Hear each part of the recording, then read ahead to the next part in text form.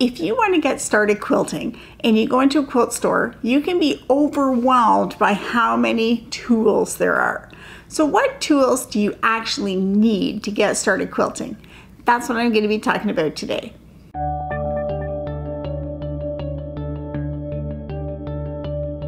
Welcome to Epida Studio. My name is Elizabeth and I help you make beautiful things with quilting, bojagi, and embroidery. So if you're going to start a new hobby like quilting, it's overwhelming. There's so many things you can see in a quilt shop. But today I'm going to show you the bare bone things that you need to get started quilting. And then once you get started, then you can try new things and there's lots of other things that you can get. So when I say what you need, I guess it depends on what type of quilting you want to do.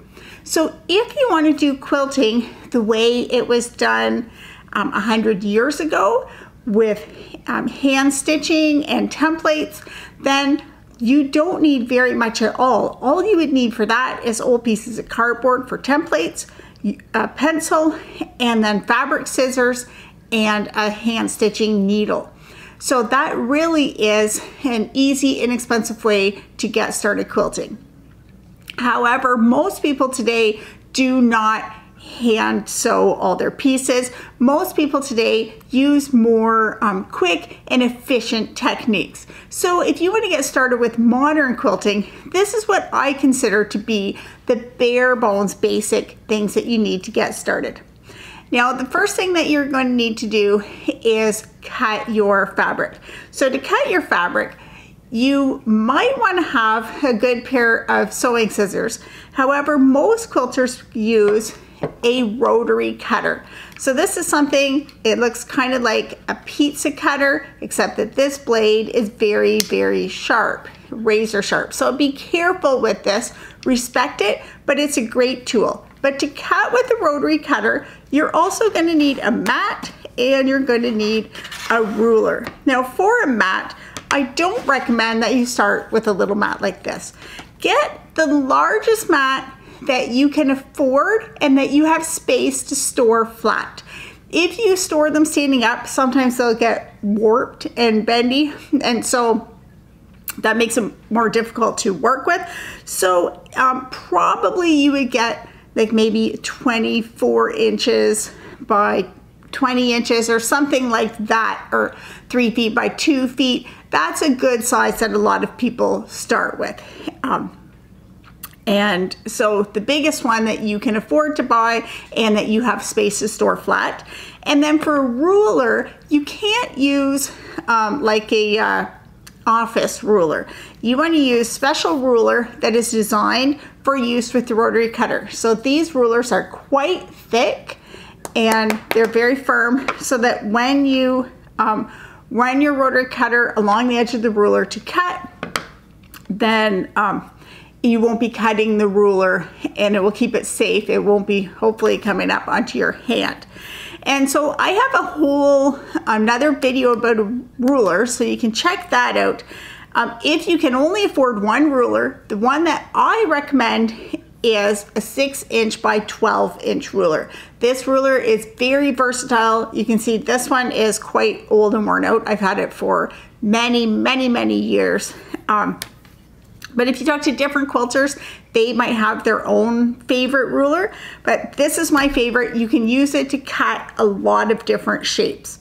Now, once you get started quilting, you'll find there are hundreds of specialty rulers that you can buy, and those you should consider on a per project basis. I don't recommend that you go out and buy a whole bunch of specialty rulers when you're getting started. Um, but you'll need at least one ruler um, to be able to cut straight lines and cut squares and rectangles. So that's what you'll need for cutting. Then uh, beyond that, you're gonna need, for sewing pieces together, you're gonna need a sewing machine. And so for a sewing machine, you don't need to go have a top of the line with all the bells and whistles. For quilting, most of what we do with quilting is with a straight stitch. And so you don't need all the fancy decorative stitches. You don't need a lot of the other um, things that come on fancy sewing machines. But a couple things to look for that are nice if you're getting a new sewing machine. It's nice if you have a setting where you can leave your needle down. And it is nice if you have um, a wider throat space. And that is the space between where the needle comes and then the main body of the machine. That gap in the middle is called throat space. And in some um, portable travel machines, that's like four or five inches, and then it gets bigger with some um, bigger machines. And the reason why that's nice is if you're going to be quilting your pieces yourself on your machine, then you're going to have a lot of bulk like bunched up in that space. So it's nicer if you have more room to work with. However, if you have a sewing machine and it does consistent straight stitch and it works fine, then there's no need to run out and buy a new sewing machine just to start quilting. Start with what you have and then when you know what you use and how often you're going to use it, then you can work up to a more fancier machine if that's what you want. But just start with what you have. Don't run out and spend a whole bunch of money on a machine if you already have one that works fine. Now, in your machine, you're going to need needles. And this is something that I find a lot of people are like, oh, sewing machine needles are really expensive. I don't want to um, have to switch out my needle. Uh, but this is something that's really important um, switch out your needle regularly. Obviously, if it breaks or if it gets bent, then you have to replace it. But besides that, needles get worn out and we can't always see the wear and tear. Like the tip might get dulled. And so every um, like couple of weeks, if you're sewing every day, it really depends on how uh, machiso. Um, some people have the habit that anytime they're going to start a new big project, then they get and start a new needle. And that is not a bad philosophy to have. So trying to sew with a needle as long as you can and not changing it is false economy because you're saving the few dollars from buying a new sewing machine needle, but in that you're making your life more difficult and you could be causing damage to your sewing machine, which is going to cost a lot more to fix. So if you're having problems, if your stitching doesn't look right or something, then often that's the first thing is change your sewing machine needle and see if that makes a difference. Um, so change regularly. Um, I can't give you an exact frequency because it depends on what you're sewing, how much you're sewing, etc. But if in doubt, change your needle. And use a, a good brand of needles. Don't get like bargain, no name needles. And that will make your life better.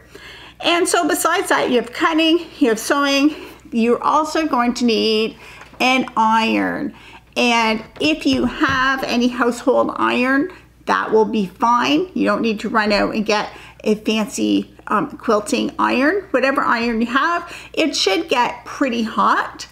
Um, quilters kind of debate on whether or not to press with steam or to press without steam, so I'm not going to talk about that, but you do need an iron. Pressing your seams as you go and pressing your finished piece will make a big difference on how things turn out. So you'll need an iron and a pressing surface. So an ironing board. If you have it that's going to be fine.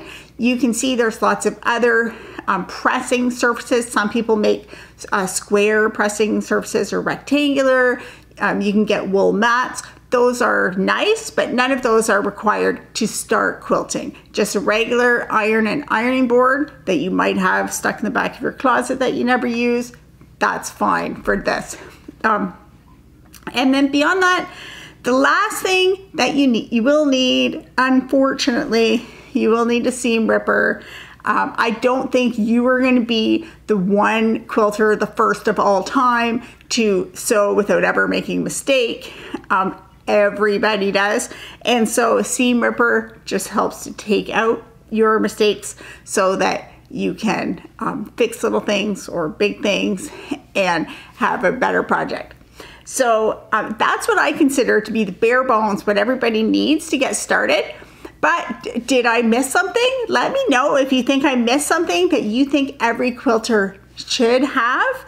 Um, of course, there are a lot of other things um, that you could have that are fun and they might make things quicker, more efficient, or easier. So let me know if you think I missed something that is a must have item. Uh, but if you are just getting started quilting, then um, welcome. I hope that you enjoy this hobby and that it brings um, joy to yourself and to your family. For quilting tutorials, patterns, and inspiration, you can check out my website, epidastudio.com.